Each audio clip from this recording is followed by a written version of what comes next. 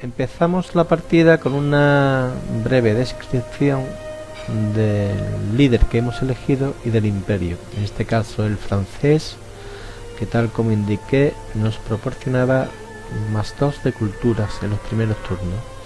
Y aquí pues aparecen las, las unidades especiales de, esta, de este imperio.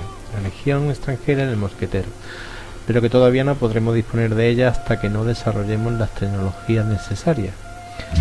Eh, ya lo que se hace es em, construir la primera ciudad porque el sitio en el que aparece el colono por primera vez pues es un sitio idóneo.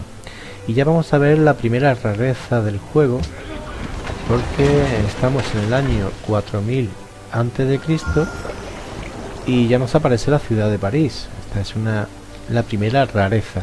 Luego otra rareza que veremos algo más adelante será que podremos contemplar luchando unidades primitivas como esta por ejemplo con una maza enfrentándose pues a gente con metralleta.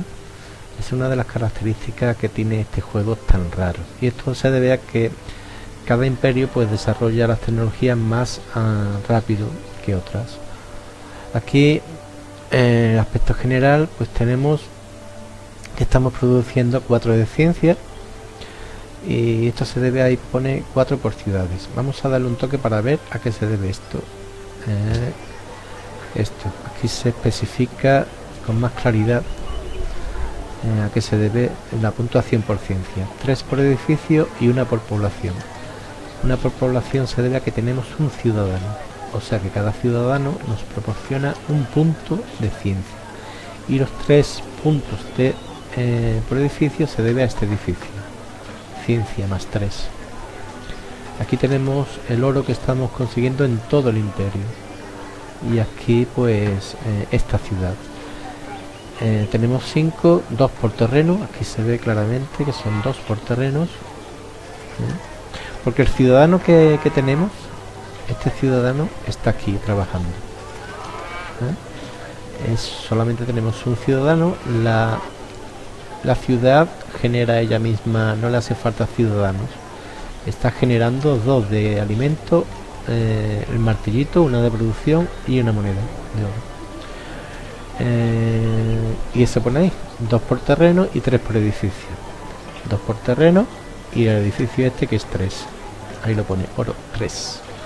La producción cuatro, pues una por terreno, esta, y luego tenemos tres por edificio que es este.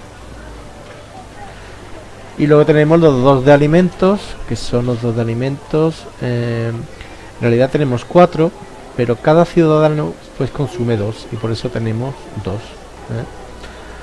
y la cultura pues se debe ahí a uno por edificio que es este uno por edificio y dos por rasgos los rasgos era mm, la característica que tiene el imperio francés que en los primeros turnos pues tenemos ahí dos por mm, de cultura por haber elegido a Napoleón